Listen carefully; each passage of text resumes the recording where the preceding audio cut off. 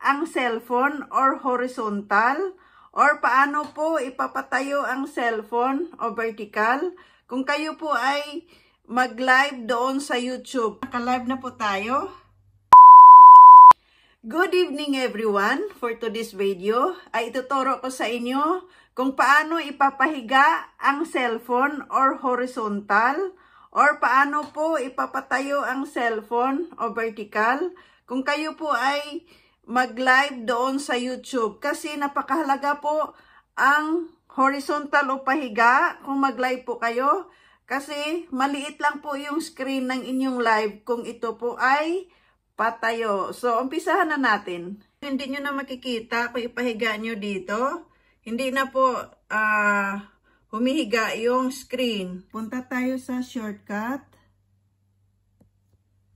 Ayan. Yung portrait dapat naka-on yan, naka-green.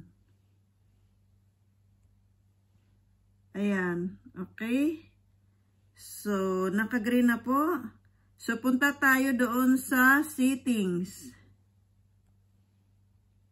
So, i-click nyo po yung display. I-click nyo po yung home screen. Tapos, scroll down nyo. I-click nyo po yung rotate to landscape mode.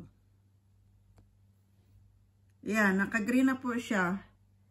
Okay, ayan, humiga na po at tumayo na po. Punta na tayo doon sa ating YouTube.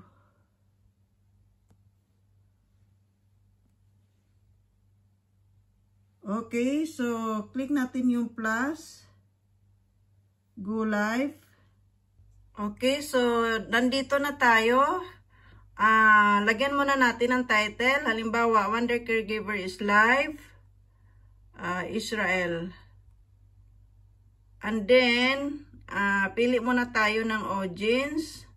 No. No for kids. Balik tayo. Tapos, baba. I-click nyo po yung advanced setting. Tapos, hanapin, i-click nyo po itong vertical. Okay, tapos i-click nyo po itong horizontal. Ayan. Kasi ang, ang cellphone, pag uh, hindi mo siya i-check yung horizontal, nakatayo lang po, maliit lang po yung screen. So, back tayo. Ayan. Okay, so punta na tayo sa next. Ayan, naka-live na po tayo. Yun. Nakahiga na po yan.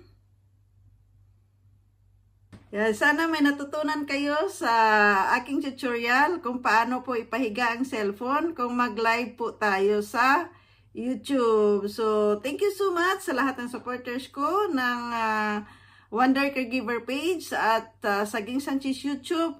Thank you so much. Bye-bye. Good night sa lahat.